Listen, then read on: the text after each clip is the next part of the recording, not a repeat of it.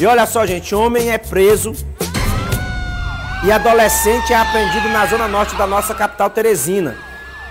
Eles tinham acabado de assaltar duas pessoas e foram Jesus, pegos em flagrante. O Francisco Filho estava lá. Quem espalha pra Jesus, geral é o pai do Lucas Rafael. O Rafael, ó! Espalha, Rafael, vai.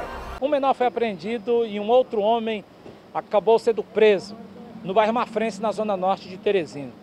Tudo começou quando os policiais do 9 Batalhão avistaram um homem pilotando uma motocicleta com uma camisa de um profissional mototaxista, em atitude suspeita. Ele estava levando esse menor. Ao serem abordados, os policiais encontraram, sabe o quê? Um telefone celular com a logo da Águas de Teresina. Tá errado. Alguma coisa aí estava errado, com certeza. Os policiais ligaram para a empresa Águas de Teresina e disseram: olha, esse telefone realmente foi roubado. A polícia trouxe para cá os dois, o maior ficou aqui. Nós temos imagens do menor sendo levado para o Instituto de Medicina Legal e novamente voltaram para cá.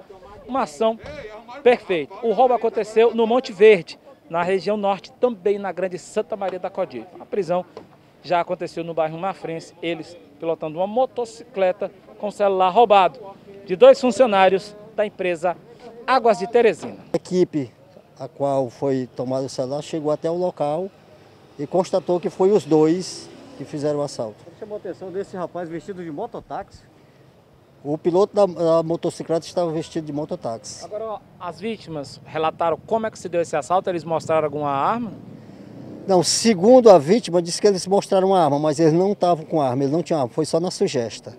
Botou a mão dentro da camisa, fez aquela ladainhazinha do que estava armado né? e ganharam o celular dele. A motocicleta tem restrição de roubo ou furto? Tem não, até agora não. Não é legalizada a motocicleta. Esse assalto foi feito na área do- da Santa Maria da Codipe, no, no Monte Verde, do 13º.